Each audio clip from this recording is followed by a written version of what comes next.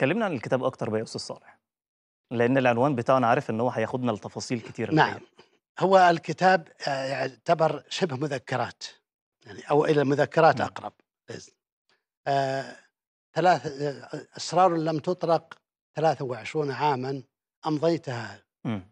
شخصيا في ما بين الرياضة والصحافة كنت أعمل في المجالين بالتساوي وبموافقة الجهات. المختصة مرؤوسين ف رعاية الشباب عندما بدأت الرياضة في رعاية الش- الرياضة السعودية في عندما بدأت كانت بدأت بأعداد قليلة من المشا... من ال... حتى الطاقم ال- رعاية الشباب لا يتجاوز أو ال 15 14 شخص مم. من الهرم سمو الأمير خالد فيصل طال الله في عمره ال-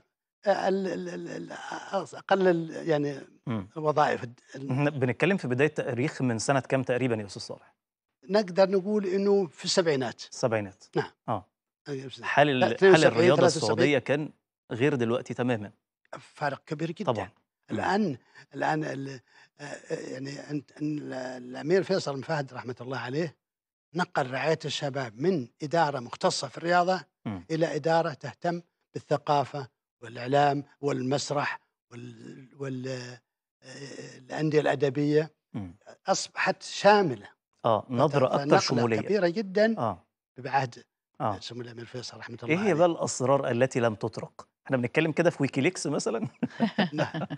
الأسرار التي لم تطرق من الصعب حصرها لأن على سبيل المثال لا أبرزها- الحصر أبرزها دورة الخليج مم. دورة الخليج العربي. سنة كام؟ دورة الخليج العرب الخل- دورة الخليج العربي آه، فكرتها جت من شركة تبغ.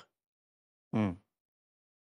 رفع الأمر ل- ل- ل- لدولة البحرين رفع الأمر للمملكة العربية السعودية للاستئناس بالفكرة رفع الأمر للمرحوم جلالة الملك فيصل رحمة الله عليه رحمة الله عليه قال لا وألف لا مم. لا يمكن أن شركة تبغ تتولى ذلك نحن أولى بهذه المهمة ف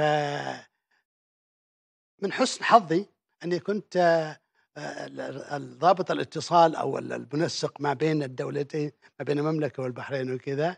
فهذه المعلومة قليل من من يعرفها فنعتبرها هي هذه من واحد من الأسرار واحد التي من. هي أفصحنا عنه نعم. الكتاب مليء بالأسرار يا أستاذ صالح ليس كذاب ليس كثير اسرار كثيرة لكن آه. يعني هذه أكيد حضرتك موفرها ممكن بطبعه لجزء ثانية أو نزيد الكم الدفعه نزيد الكمية ال... يعني الكتاب ده نعتبره كتاب تشويقي لما هو قادم إن شاء الله. نعم. بإذن الله. نعم نعم.